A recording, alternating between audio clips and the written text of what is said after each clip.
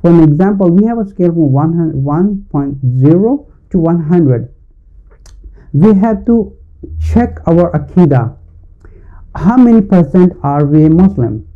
If someone say, I only rely on Allah and He is the alone doer and 100% and He is the only sustainer and 100% He is the only one who helps, will help me and He is the only one who give me shifa, that person is a Muslim.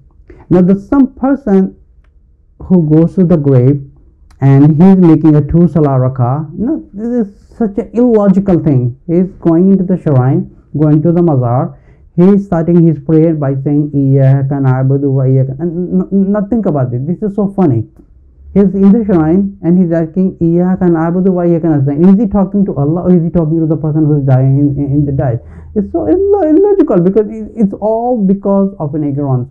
Now the shaitan is very smart.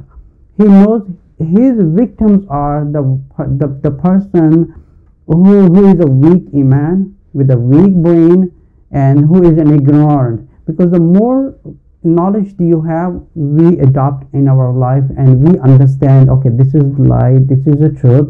And in order to be a muslim we just have to sacrifice everything for the sake of allah. And alone we worship allah. And we rely only on allah. Not the person on the dead and shrines on the all that